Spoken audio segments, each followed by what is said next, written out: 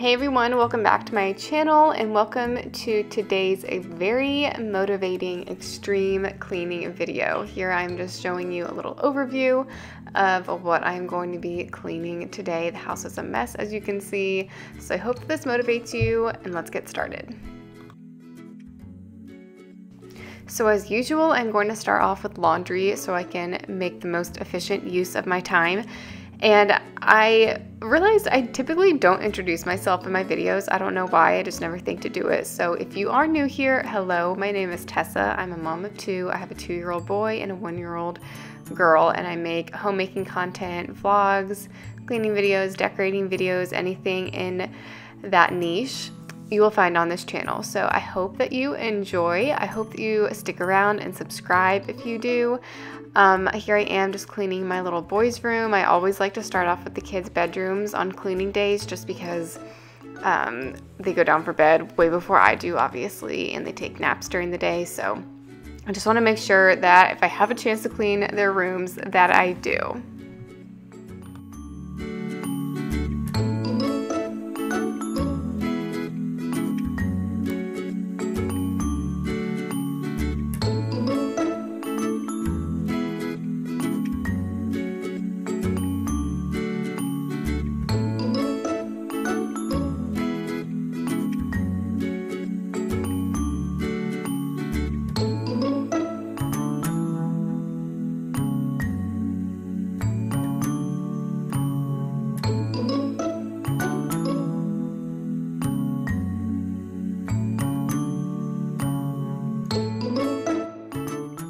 Next up is my bedroom, which is a total mess per usual. I talk about this all the time. This room always gets neglected in the house. I always make sure that the downstairs living areas are picked up and ready to go just because we spend a lot of time there. And if people come over, that's what they see. And then I totally neglect my bedroom. So um, for some reason, my two year old put all of his blankets in our bed. So I'm just getting those ready to go. I'm making the bed. If I'm cleaning my room, the first thing I do is always make my bed. It just sets the tone. It makes it feel so much better. If I need to fold anything, or lay anything out, I have a space to do it. And it just makes it feel like if you have a made bed, you should have a clean room. And it's motivating to get your room cleaned.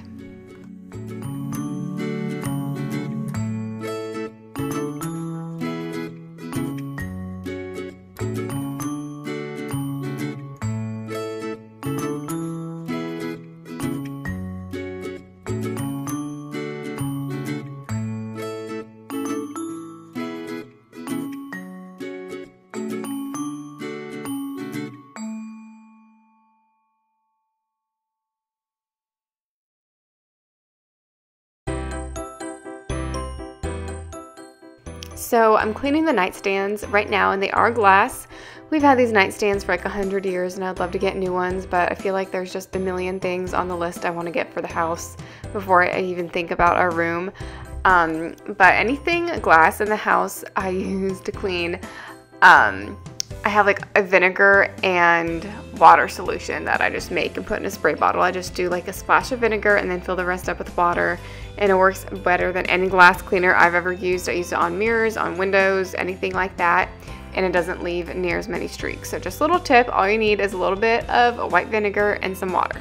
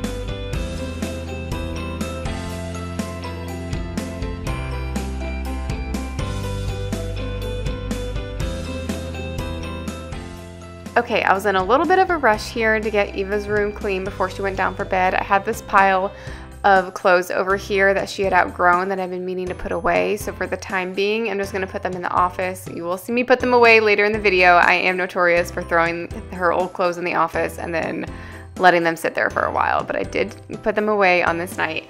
Um, but I just wanted to get them out of the room so I could get her room clean before she went to bed. And as you can see, her closet here is kind, I don't want to say it's a disaster because it's not like completely a disaster, but it's not super organized either. We just have so much baby stuff and we haven't 100% decided yet if we're gonna have another baby, so I don't wanna get rid of anything. So I just have like wraps and carriers and um, just like any little, like her car the newborn car seat insert just any little thing for babies swaddles i mean just yeah all those kinds of things i just throw into this closet because i don't know where else to put it and she was the last baby that we had so it just makes sense for it to be in here, but I don't want to get rid of anything yet because we don't know if we're going to use it again or not. So it's easily accessible in here if we do decide to have another baby. Um, but yeah, for the time being, it's just taking up some space. So that's why it's like impossible to have her closet completely organized right now.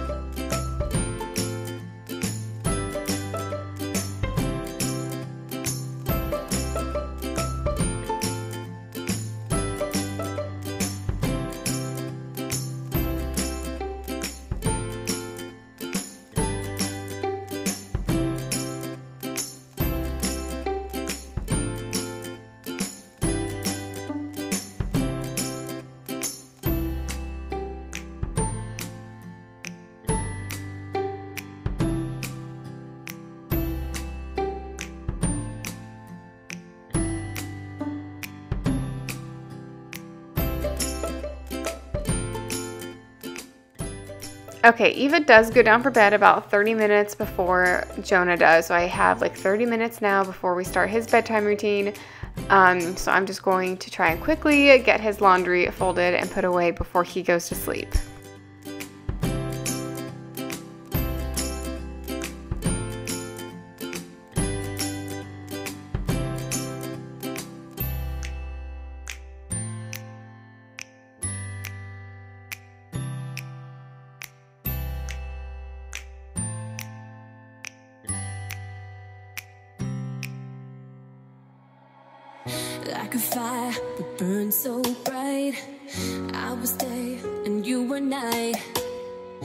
Like a spark we were quick to ignite Then you ask yourself, is it worth this fight?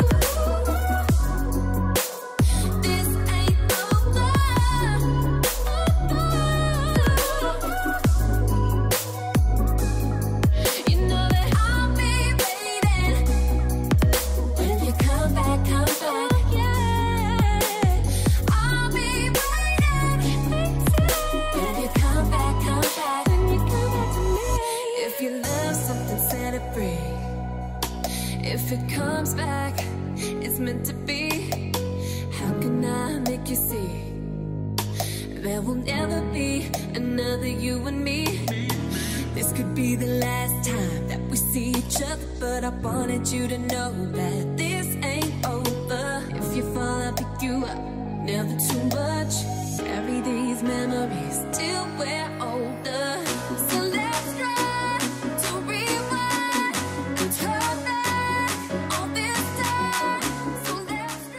All right, the kids are down for bed, so next up is our bathroom. So I'm starting off with our tub. It wasn't too bad. This top area gets a little bit dusty, so I needed to wipe that down before I start cleaning the actual tub.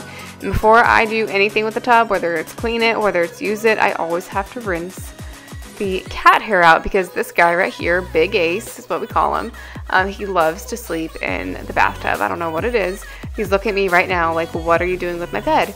Um, but yeah, I'm just wiping it down with a Mr. Clean bath sponge and then a little bit of shower cleaner. Um, and I actually don't really clean the jets too often, maybe like once or twice a year I will do that, but I don't use the jets whenever I take baths. They're just like really loud and I don't know, I just don't feel like I need them. So I don't clean the jets on a regular basis. Also, I do want to mention make sure you wipe down the front of your tub, whether you have cabinets like this or it's like the actual bathtub, just because it's easy to forget that and it gets very, very dusty very quickly. Back, come back,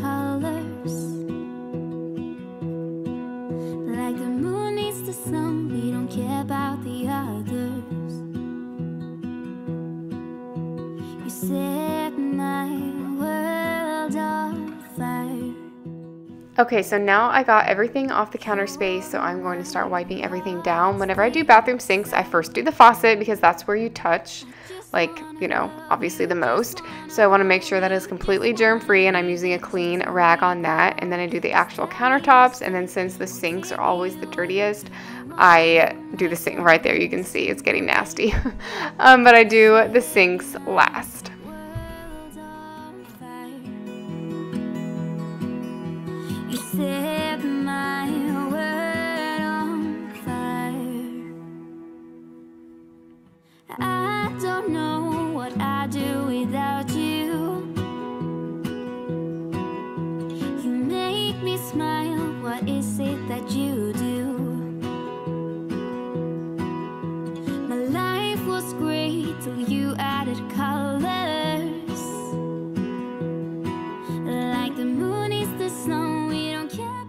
If you have watched any of my cleaning videos in the past, you know that the shower, specifically this shower, is my least favorite thing ever to clean. I'd rather clean 10 toilets than clean the shower.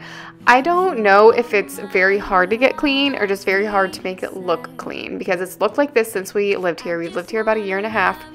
And I think the house was seven years old whenever we bought it. So, I mean, it had been used for a little while.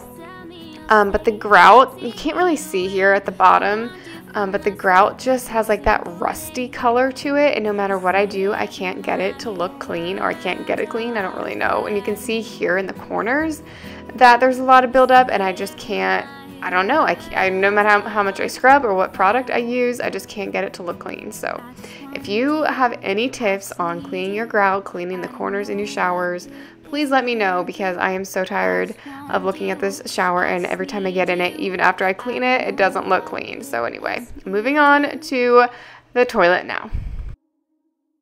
I just wanna love you, just wanna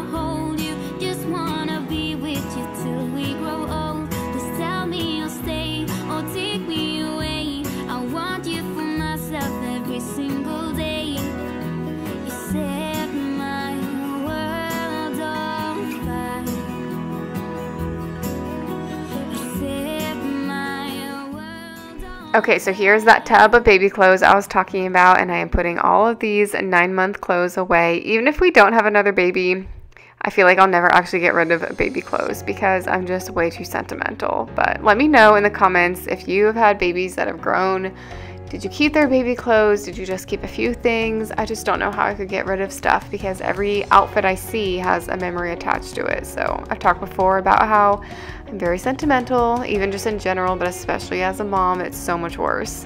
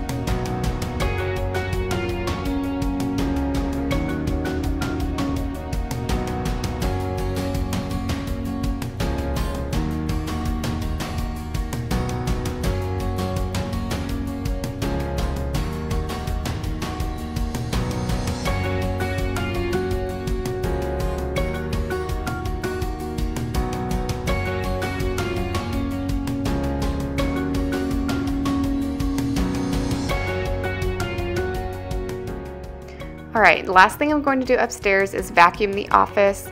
Um, we were shredding some paper up here and then the kids got into the paper shreds. So they were all over the floor. So this room needed a good vacuum.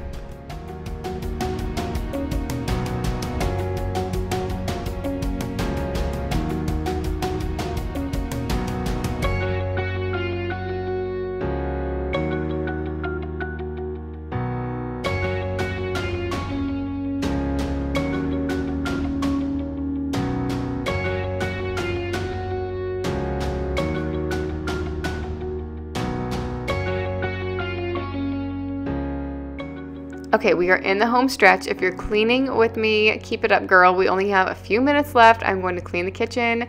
This is the most monotonous thing I feel like I do because no matter what I do, I will always be cleaning the kitchen at the end of the night.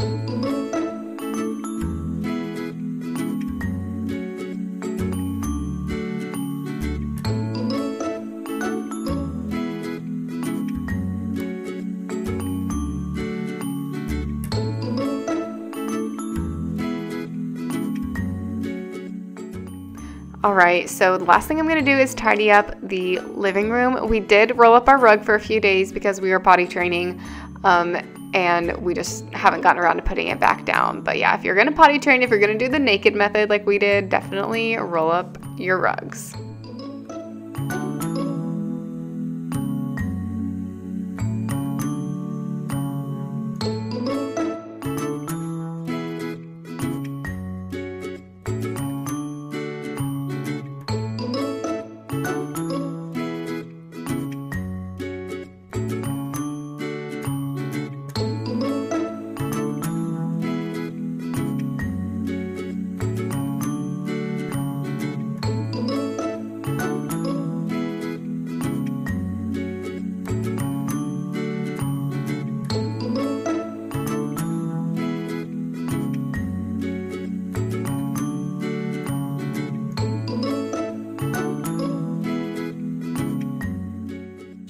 Right, so that is everything that I got done on this night. I did not get like every single little thing downstairs done, but I was really tired. So I hope that you know if you're exhausted, don't feel like you have to get it all done in the same night. You can work day by day. But anyway, if you enjoyed this video, please like it, please subscribe, and I will see you guys in the next one.